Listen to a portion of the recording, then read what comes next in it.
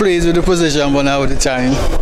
Hopefully in the next one, I get out, get a better start and run a bit faster. Well react with the gun.